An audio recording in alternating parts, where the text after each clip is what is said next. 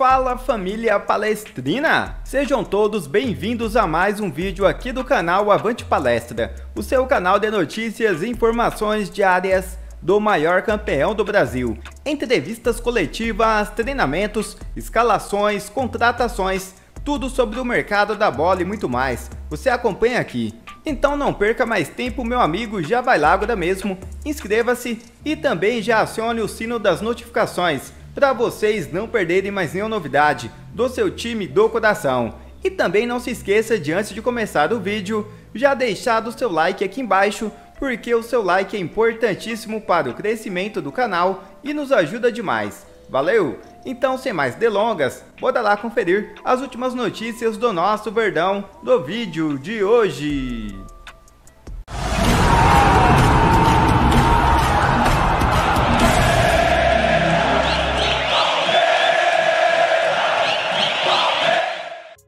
E eu já começo te contando, Fenerbahçe chega forte por Dudu, salário de 2 milhões entrou em jogo e Palmeiras toma conhecimento dos planos do camisa 7. É isso mesmo, Dudu é considerado um dos maiores ídolos da história do Verdão. O atacante tem muito carinho pelo torcedor e se sente em casa. Antes de chegar ao Verdão, o atleta não era a sombra do jogador que é atualmente. Foi no Alviverde que ele se reinventou, passou a gostar de fazer gols e ainda concede muitas assistências notícias para os companheiros. Na semana passada, surgiu informações dando conta que o Fenerbahçe está interessado em sua contratação. O clube turco procura reforços de peso após a chegada de Jorge Jesus, treinador muito conhecido no Brasil pelo trabalho que realizou no Flamengo. A reportagem apurou que o Fenerbahçe está disposto a pagar uma quantia muito alta para levar o atacante, e os salários giram em torno de 2 milhões por mês, livres de impostos. Contudo, Dudu não deve ser esse reforço para o setor. O jogador está muito feliz no Verdão e não se enxerga atuando em outro do time nesse momento, mesmo que seja no futebol europeu. Ele já teve uma experiência recente na China, onde ganhou muito dinheiro, e não será por esse detalhe que sairá do Palmeiras agora, clube que Dudu ganha um alto salário. O camisa 7 é considerado essencial para Abel Ferreira, que já adiantou muitas vezes ter receio de perder algum dos seus principais jogadores. A torcida palmeirense, a princípio, poderá ficar tranquila quanto ao futuro de Dudu. O jogador não tem planos de sair nesse presente momento e nem mesmo no futuro próximo. Pessoas próximas ao jogador garantem que ele está 100% focado na academia de futebol.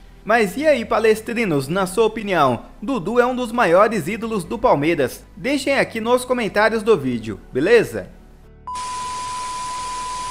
Bom palestrinos e já mudando de assunto, River Plate apresenta nova oferta por Borja e Palmeiras pode embolsar quantia milionária. É isso mesmo. Clube argentino não desistiu do acordo e venda depende do aval do Verdão apesar da possibilidade de contratar Luiz Soares. O River Plate nos bastidores segue negociando a contratação de Borja. Depois do Palmeiras vetar o acordo, a equipe de Buenos Aires, segundo a emissora TC Esportes, apresentou uma nova proposta. Dessa forma, a expectativa é que o Alviverde mude a postura e aprove o acerto. Para reverter a situação, o River Plate se colocou à disposição para pagar 3,5 milhões de dólares ao Júnior Barranquilha e assumir a dívida dos colombianos colombianos de 2 milhões de dólares com o Alviverde. Além disso, o Palmeiras iria receber mais um milhão pela transferência de Borja. Agora, resta saber se a gestão de Leila Pereira irá aceitar 3 milhões de dólares, 15,7 milhões pelo centroavante. Neste cenário, o atual bicampeão da Libertadores ainda poderia manter de forma total ou parcial 50% dos direitos do atacante. Comprado por mais de 40 milhões pelo Palmeiras em 2017, Borja foi vendido vendido ao Júnior Barranquilha por 3,5 milhões de dólares, 20 milhões na cotação da época, dívida que ainda não foi quitada. Por conta disso, o Verdão, caso ainda mantenha metade dos direitos do jogador, tem chances de selar a transferência.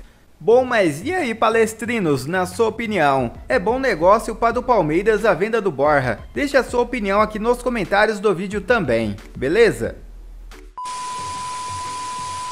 Bom palestrinos e já mudando de assunto, atacante do Palmeiras se irrita com críticas, toma atitude drástica na web e torcida do Verdão não perdoa. É isso mesmo. O jogador não vive bom momento no Palmeiras e pode ter feito seu último jogo com a camisa do Verdão. O Verdão perdeu a chance para disparar ainda mais na liderança do Brasileirão. Na tarde do último domingo, o Verdão ficou no empate por 2 a 2 com o Havaí na Arena Ressacada. A diferença para o vice-líder Corinthians se manteve em 3 pontos. No entanto, a distância para o Internacional e Atlético Paranaense, que fecharam o G4 do, torneio nacional, caiu para 5 pontos. O resultado dividiu a torcida palmeirense nas redes sociais, quantos alguns reclamaram por deixar dois pontos escaparem em Santa Catarina. Outros aprovaram o ponto conquistado fora de casa. Porém, a torcida foi unanimidade quanto o assunto foi os atacantes reservas da equipe de Abel Ferreira, Rafael Navarro e Breno Lopes. Devido ao desgaste físico e à maratona que a equipe vem enfrentando, a comissão técnica portuguesa optou por colocar em campo uma equipe alternativa. Porém, a estratégia não deu certo. Breno Lopes errou praticamente todas as tomadas de decisões, enquanto que o camisa 29 desperdiçou pelo menos três chances claras de gol. Os torcedores palmeirenses não pouparam críticas aos atacantes, principalmente ao camisa 29, que ao ser bastante detonado na web, tomou uma decisão decisão importante na manhã desta segunda-feira. O ex-botafoguense decidiu excluir o seu Instagram. A atitude do atleta mais uma vez repercutiu na web.